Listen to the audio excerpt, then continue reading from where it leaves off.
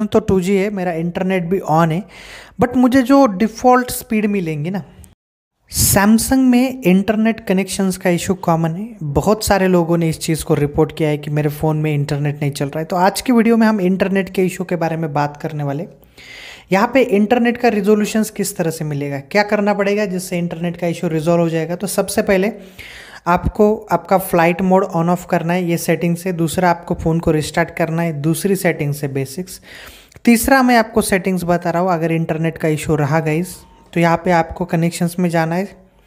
मैं सेटिंग में गया सेटिंग में कनेक्शंस में गया और यहाँ पर मैं मोबाइल नेटवर्क पे क्लिक कर रहा हूँ। जैसे ही मैं मेरे मोबाइल नेटवर्क पे क्लिक कर रहा हूँ, यहाँ पे दो ऑप्शंस दिख रहे हैं आपको L T E three G two G बहुत बार होता क्या है ना, यहाँ पे लोग टू जी को सेलेक्ट कर लेते हैं। और एज अ रिज़ल्ट अगर मैं मेरा मान लो इंटरनेट भी ऑन कर रहा हूँ यहाँ पे